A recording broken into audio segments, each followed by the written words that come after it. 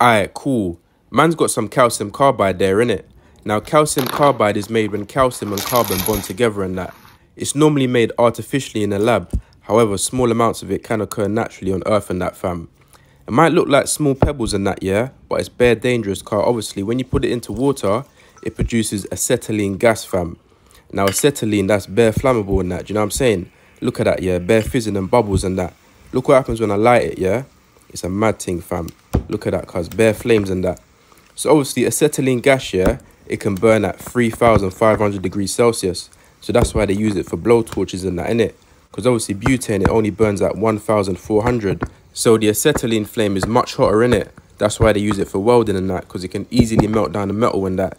It can even melt down tungsten, which has got the highest melting point of any metal in the whole world, at 3,500 degrees Celsius, fam. It's a mad thing, cuz you know what time it is, man. Calcium carbide thing and that, fam.